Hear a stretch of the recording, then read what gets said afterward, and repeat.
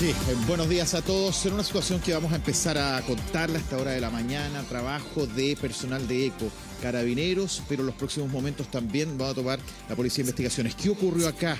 Yo les voy a contar de inmediato, cuatro y cuarto aproximadamente de la mañana, una de las casas que está en este momento siendo aislada, producto del trabajo que está haciendo investigativo. Una adolescente de 14 años sale de su hogar a pedir ayuda contaba que a su casa entraron dos personas, dos desconocidos, y se encontraba ella con su madre. En ese instante es donde, según la información que tenemos hasta ahora, se escucha al menos un disparo. Y ese disparo eh, acaba con la vida de esta mujer, de esta madre, esta mujer que estaba en su casa y donde hasta este momento se desconoce cómo ocurrió todo esto. Preguntas que se hacen los vecinos cómo estos dos desconocidos pasan un portón que está a solo pasos de donde nos encontramos. Luego ingresa a la casa y la casa no tiene hasta ahora ningún tipo de daño o algún tipo de evidencia de que fue forzada. Y por eso lo que hasta ahora se está tratando de establecer es si habría algún tipo de relación previa entre esta madre, esta mujer que eh, se encontraba en este lugar y que finalmente pierde la vida y las dos personas que ingresan a este lugar. ¿Qué se sabe hasta ahora? Y por eso yo les eh, partía diciendo que la hija adolescente de, entendemos, 14 años de edad, sale a pedir ayuda porque no entiende qué pasó. Y luego esta mujer, esta madre de dos hijas, una de ellas estaba eh, con ella en, en, la casa, en esta vivienda que es la comuna de La Pintana, recibe a estas dos personas y Ahí es donde la duda es. Rafa. ¿Cómo ocurre todo esto? Eso. ¿Qué motivación había previamente, Mari? Y además, si había algún tipo de nexo, relación entre ellos, algún parentesco que hasta ahora se desconoce. Claro, porque por lo que te entiendo, no es que aquí hayan entrado a robar a la casa, sino es que entraron, la mataron y se fueron. Hasta ahora no hay ningún tipo de registro o información respecto a algún robo de algo en la casa. Eh, y estos eh, tiros, este, este balazo, eh, insisto, al menos uno sería el que le quita la vida en el rostro, es el balazo que, que, le llega. Hasta ahora lo que se sabe es que en la casa no hay mayor intervención, pero todo esto es muy reciente y por eso es que nosotros estamos acá, primero que todo porque lo que más se quiere saber, y los vecinos también están aquí, no han querido hasta ahora hablar con nadie, es cómo pasa, porque este sector y no sé si podemos mostrarlo, mientras está trabajando Fiscalía y está trabajando también las policías, eh, nos vamos a girar 180 grados para mostrar un portón que está un poquito más acá y lo vamos a hacer con mucha cautela y con mucha tranquilidad. Fíjense para acá, yo les voy a mostrar un portón que es bastante grande y que da cuenta de cómo había una protección importante este cerrado, ¿Se fijan? Ese portón completamente cerrado. Además, eh, un portón que con los vecinos ellos han tratado de resguardar eh, durante estos días. Eh, aquí hay una vecina, vecina, no sé si lo puedo preguntar brevemente. los vecinos están muy preocupados por lo que ocurrió anoche acá, ¿no? Estamos preocupados por lo que ha sucedido. Muy complejo, ¿no? Complejo la situación que estamos viviendo. Cuénteme una cosa, este portón fue instalado por los vecinos, se ve bastante firme. Sí, este portón yo fui dirigente 35 años aquí en la Villa Observatorio y este lo hicimos en en conjunto con todos los vecinos nos pusimos de acuerdo. Lo que ocurrió anoche, eh, este, el portón está tal cual. Tal cual, cerrado.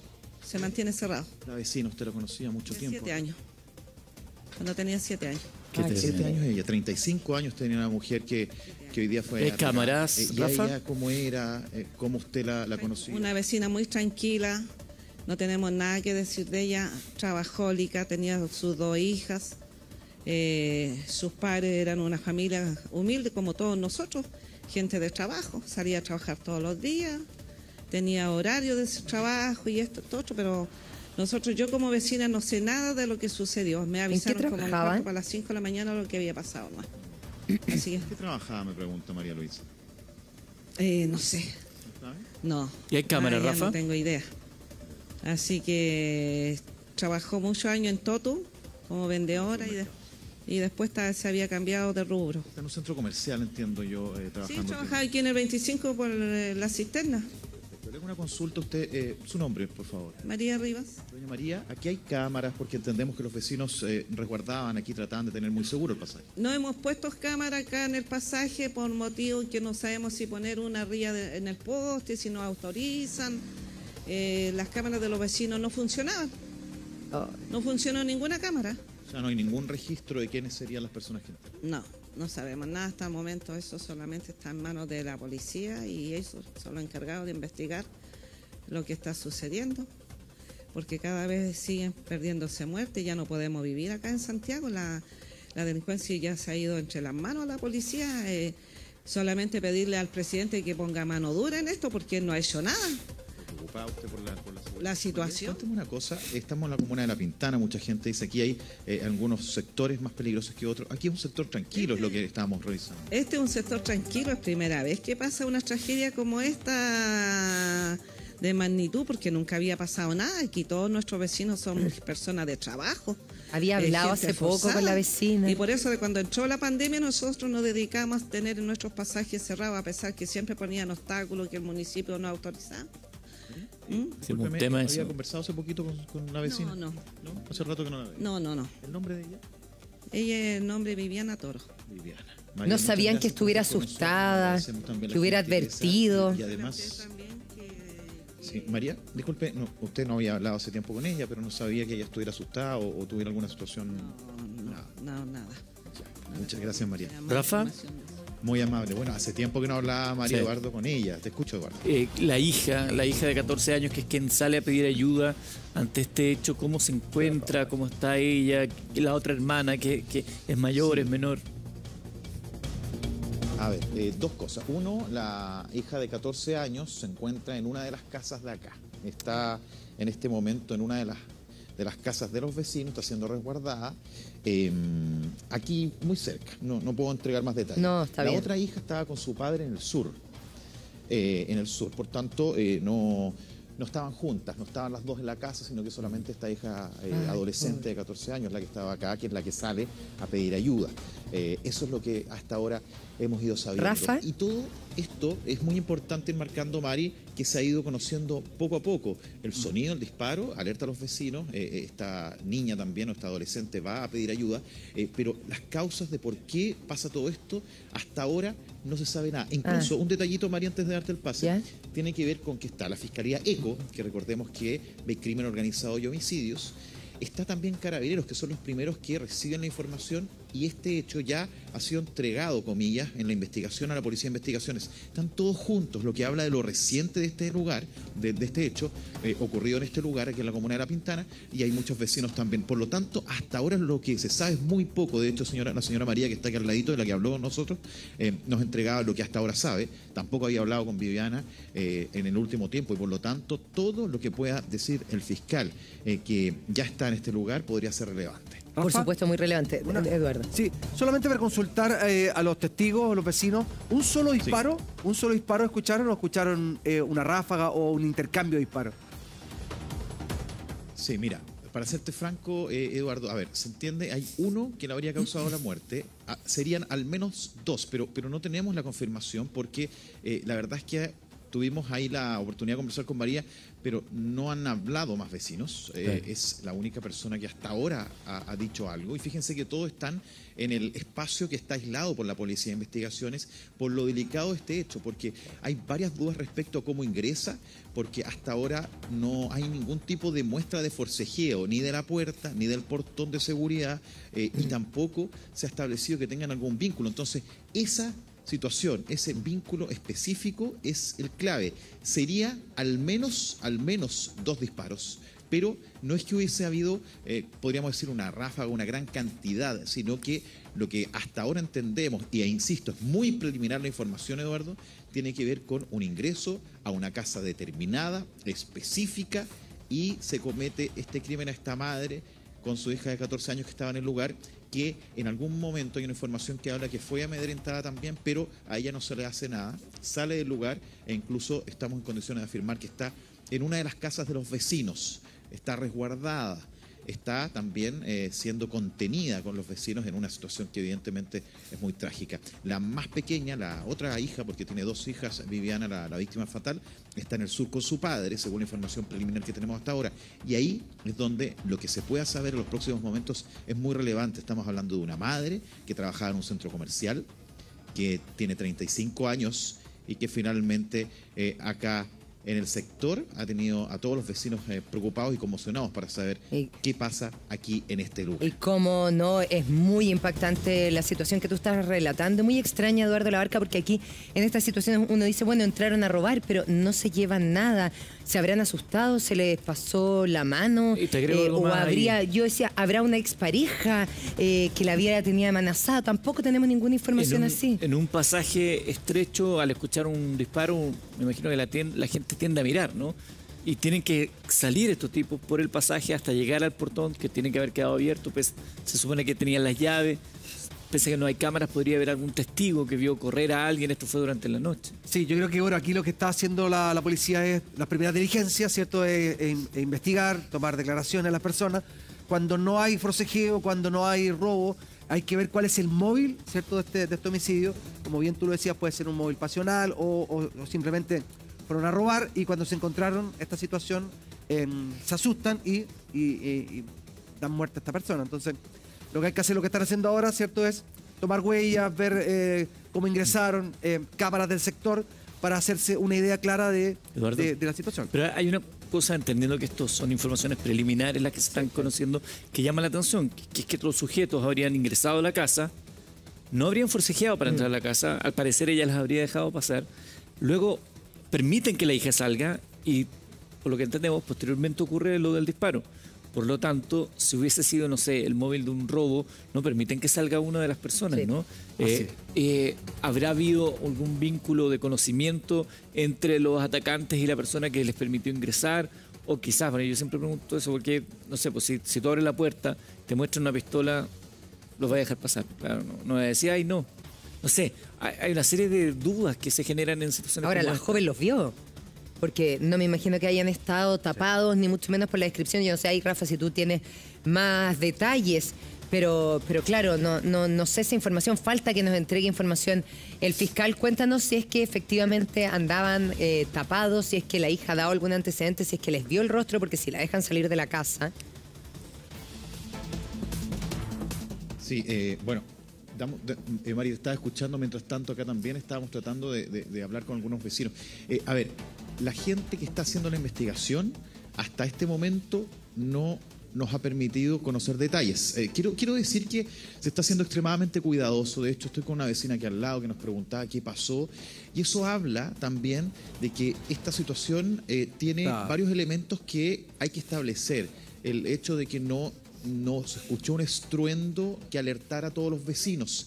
La alerta a algunos vecinos tiene que ver con la joven adolescente que sale a pedir ayuda.